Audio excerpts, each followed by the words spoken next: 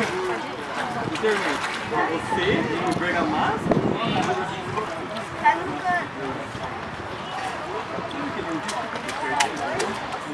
Adoro isso.